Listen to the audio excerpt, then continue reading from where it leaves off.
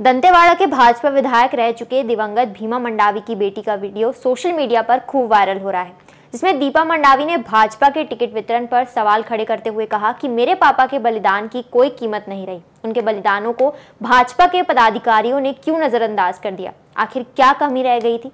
बता दें कि विधायक भीमा मंडावी लोकसभा चुनाव के दौरान नक्सली विस्फोट में मारे गए थे।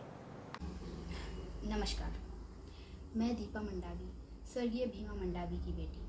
आज मैं इस वीडियो के माध्यम से हमारे भाजपा पार्टी के सभी कार्यकर्ताओं एवं नेताओं से ये पूछना चाहती हूँ कि पार्टी ने मेरी मम्मी श्रीमती ओजस्वी भीमा मंडावी को विधानसभा की टिकट ना देकर मेरे पापा के बलिदान को बेसत किया है।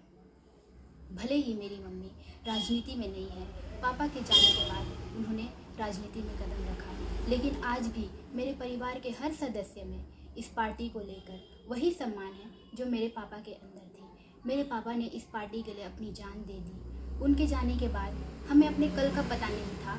फिर भी हमारी मम्मी ने हमें संभाला और इस पार्टी में मेरे पापा की जगह ली। उसी सिद्धत उसी सिद्धत के साथ जो मेरे पापा के अंदर थी, हमारे दंतेवाड़ा की जनता के लिए और हमारी भाजपा पार्टी के लिए। क्या मेरे पापा के बलिदान की कोई कीमत नहीं है आप सभी पार्टी वालों के सामने? क्या मेरे पापा से कोई कमी रह गई?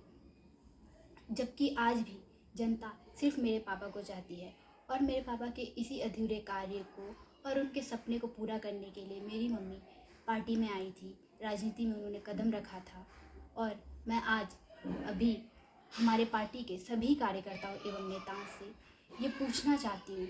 मुझे मेरे इस सारे सवालों का जवाब चाहिए कि आप लोगों ने हमारे साथ ऐसा क्यों किया? ऐसी खबरों में अपडेट रहने के लिए जुड़ रही इस फर्मा टाइम्स के साथ और मैं थी आपके साथ खुशी सुहेल। इस वीडियो को लाइक कीजिए शेयर कीजिए और चैनल को सब्सक्राइब कीजिए।